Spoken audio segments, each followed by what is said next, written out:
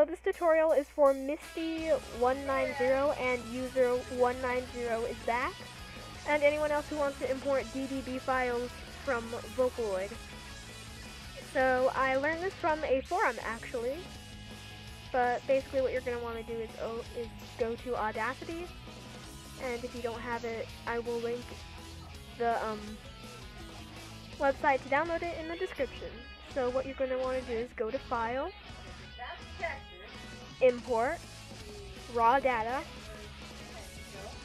Then you're going to want to go to your program files. Should be this. Go to whatever Vocaloid version you have. Go to Voice DBDIR. Then a bunch of files like this will show up. If you only have one Vocaloid, then there should be one only. But basically, click on this file, and the name of your Vocaloid should be the name of the DDB file. So you're going to want to click it, and then hit open. And this is what you're going to want to do. You're going to want to have assigned 32-bit PCM, little whatever that is. Then you're going to want to have one channel for mono.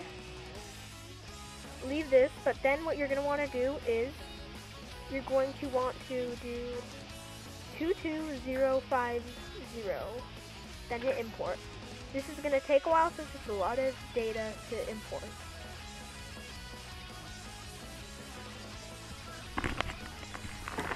Alrighty, it's almost done, but here it is. Alrighty, so you'll hear this. Bunch of beeps and stuff like that, and we don't want that. But don't worry, it's nothing like, you know, bad or anything. It's just like sounds that separate each sample for whatever fucking reason, but you'll hear really short samples.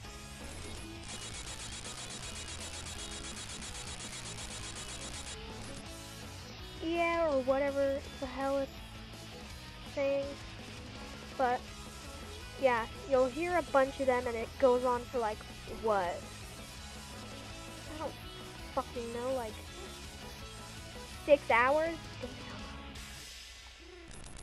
And then there's some weird ass sound at the end. What the fuck is that? But yeah, that's basically um, how to import DDB files, but